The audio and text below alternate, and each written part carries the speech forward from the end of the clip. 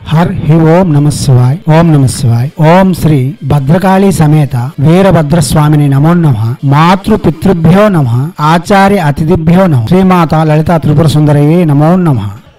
శివశక్తి స్వరూపులారా ఇప్పుడు అతి రహస్యవంతమైన ప్రభావవంతమైన కర్ణిమాత యొక్క మంత్రం చెప్పుకుందాం. ఈ కర్ణిమాత అపారమైన శక్తి గలది. ఈమెను ఆరాధించడం వలన మన జీవితంలో వైభవంగా గౌరవప్రదంగా మరియు భక్తి చిన్నముగా మన జీవితంను మార్చివేయగలవు? ఈమె యొక్క రూపము దుర్గాదేవి యొక్క ప్రతిరూపంగా పరిగణించబడుతుంది. ఈమె మంత్రం పఠించే వారికి వ్యక్తిగత జీవితంలో ఆనందము శాంతి భద్రత లభిస్తుంది. కర్ణిమాత మంత్రములు ఆర్థిక శ్రేయస్సును ఉద్యోగ పురోగతిని ఉద్యోగం లేని వారికి ఉద్యోగమును మరియు సకల ఆపదల నుండి విముక్తిని అప్పుల బాధల నుండి విముక్తిని కల్పిస్తూ ఆనందమయమైన జీవితమును కల్పించగలదు. ఈ కర్ణిమాత యొక్క చరిత్ర తెలుసుకోవాలంటే కర్ణిమాత పదమూడు వందల ఎనభై ఏడులో రాజస్థాన్ చరణ్ వంశంలో జన్మించిందని ఈమె అసలు పేరు? వృద్ధిబాయి చిన్నతనం నుంచి ఆమెలో అసాధారణ శక్తులు సంకేతాలుగా కనబడేవని ఈమె ఎప్పుడు కూడా దుర్గామాతను ఆరాధన చేస్తూ అతీంద్రియ శక్తులతో అద్భుతమైన సంఘటనలను చూపించే వచ్చేదని చెబుతూ ఉన్నారు. ఈ వృద్ధిబాయి కర్ణిమాత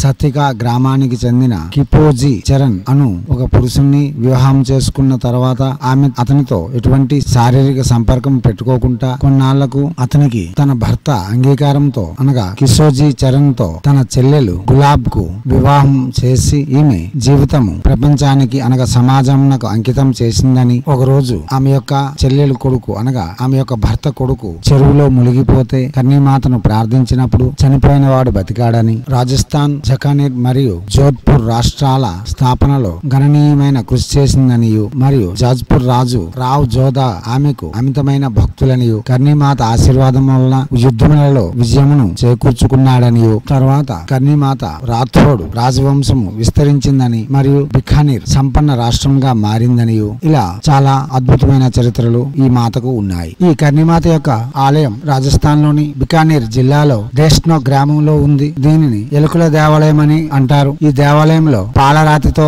చేయబడిన ఈ మందిరం వేల కొలది ఎలుకలు చెక్కబడి ఉన్నాయి. కాగా ఈ కోవెలలో ఎలుకలకు పూజిస్తారు. వేల ఎలుకలు అక్కడ ఉంటాయి. వెలుకలు కనిపించడం పవిత్రంగా భావిస్తారు. అక్కడ కన్నిమాత దర్శనంకు వచ్చిన భక్తులు కూడా ఆ ఎలుకలకు ప్రసాదం నివేదన చేసి ఆ ప్రసాదం ఎలుకలు స్వీకరిస్తే శుభంగా భావిస్తూ ఉంటారు. ఈ మందిరమును ఎలుకల మందిరం అని కూడా అంటారు. దివ్యాత్మ స్వరూపులారా అయితే ఈమెను ప్రార్థించడం వలన పూజించడం వలన మనకు అత్యున్నతమైన జీవితం లభించగలదు. ఈమెను ఆరాధన చేయాలనుకునే వాళ్ళు స్త్రీ పురుషులు చేయవచ్చు. ఇరవై సంవత్సరాలు దాటిన వారు ఈమె యొక్క ఆరాధన చేస్తే మంచిది. నలుపు నీలిరంగు వస్త్రములు నిషేధము. మద్యపానము మాంసభక్షణ పరస్త్రీ వ్యామోహము ధూమపానము నిషేధము. ఇదే స్త్రీమూర్తులు చేయాలంటే పరపురుషుని అందు ధ్యాస కూడా ఉంచుకోకూడదు. ఎర్రని వస్త్రములు తెల్లని పువ్వులు చందనము మరియు కుంకుమ పసుపు నేయి దీపము ఈమెకి ప్రీతికరము. తెల్లని తీయని పదార్థములు ప్రసాదంగా నివేదన చేస్తూ ఈమె యొక్క మంత్ర జపమును చేసుకోవచ్చు. ఈ మంత్ర జపం చేయాలనుకునే వాళ్ళు భార్యాభర్తలు ధార్మిక సంసారం చేస్తూనే చేసుకోవచ్చు. ఈమె మంత్రము చేసే ముందు కూడా దశ దిశ దిగ్బంధన మంత్రం చెప్పవలసి ఉంటుంది. దుర్గాదేవి పటము ఉంచి దుర్గాదేవికి యథాశక్తి పూజిస్తూ తర్వాత ఈ మంత్రమును మనం ప్రత్యక్షంగా జపం చేసి కర్ణీమాత యొక్క అనుగ్రహంతో సకలములు విజయం పొందగలం. ఇంతకు ముందు మనం చెప్పే సకల విధములైన శ్రేయస్సులు పొందగలం. ముందుగా శ్రీ కర్ణీమాత యొక్క దిగ్బంధన మంత్రము. మంత్రము ఓం ఐం హ్రీం శ్రీం కన్నీ మాతాయై క్లీం హ్రీం దిగ్బంధాయ స్వాహ. మంత్రం మరోసారి. ఓం ఐం హ్రీం శ్రీం కన్నీ మాతాయై క్లీం హ్రీం దిగ్బంధాయ స్వాహ. మంత్రం మరోసారి. ఓం ఐం హ్రీం శ్రీం కన్నీ మాతాయై క్లీం హ్రీం దిగ్బంధాయ స్వాహ. ముందుగా కులదేవతారాధన ఇష్టదేవతారాధన చేసిన తర్వాత దుర్గాదేవి పటము ఉంచి ఆ పటం నాకు శక్తి కొలది పూజించి షోడశోపచార పూజ లేక పంచ పూజలు చేసి తర్వాత ఆ పీఠం ముందు షట్కోణ యంత్రము దానికి నాలుగు వైపులా ఎర్రని గీర గీసి అనగా కుంకుమతో షట్కోణ యంత్రము రాసి దానికి నాలుగు వైపులా గీర గీసి తూర్పునకు మూడు సార్లు ఆగ్నేయమునకు మూడు సార్లు దక్షిణకు మూడు సార్లు చెప్పున మంత్రమును ఉచ్చరించి ఇప్పుడు మనం చెప్పే దిగ్బంధన మంత్రమును చెబుతూ అలా ఎనిమిది దిశలకు మూడేసి సార్లు చెప్పి ఊర్ధ్వ అదో అని చెప్పి మూడు సార్లు మూడు సార్లు మంత్రము చెప్పి తర్వాత కుడి చేతిలో కొంచెం నీళ్ళు తీసుకొని ఇదే మంత్రము ఎనిమిది సార్లు చెప్పి కప్పి తన వంటిపై చల్లుకొని తర్వాత జపంనకు కూర్చొని జపం చేయవలసి ఉంటుంది. ఎర్రని వస్త్రములు ఎర్రని ఆసనము రక్త మాల శ్రేయోదాయకము ఉత్తర వైపు అభిముఖంగా కూర్చొని జపం చేయవలసి ఉంటుంది. హైందవ సనాతన ధర్మంలో వస్తున్న విధులన్నీ వర్తిస్తాయి. శుచి శుభ్రతలు పాటించాలి సుస్నాతులై ఉండాలి భక్తి కొలది చేయగలిగితే ఫలితములు కూడా అంత శీఘ్రముగా లభిస్తాయి. ఈ దేవత యొక్క ఆరాధనలో కూడా గ్రామ దేవత యొక్క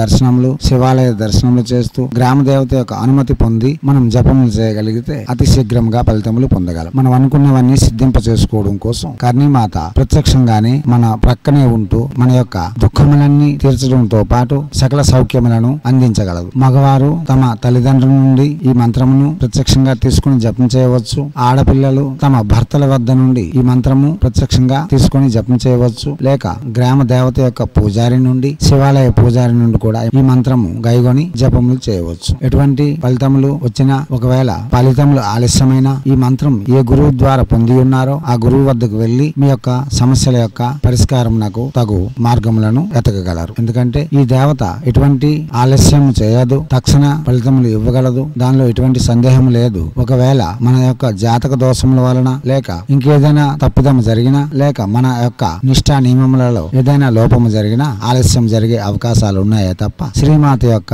ఆలస్యం అయితే ఏమీ ఉండదు. దివ్యాత్మ స్వరూపులారా ప్రసంగములు వినండి అవగాహన ఉంచుకోండి తర్వాతనే జపములకు ఉపక్రమించండి. ఇప్పుడు శ్రీ కర్ణీమాత మహామంత్రం. మంత్రము ఓం ఐం శ్రీం కర్ణి మాతాయై. క్లీం నమ. మంత్రం మరోసారి. ఓం ఐం శ్రీం కర్ణి మాతాయై. క్లీం నమ. మంత్రం మరోసారి. ఓం ఐం శ్రీం కర్ణి మాతాయై. క్లీం నమ.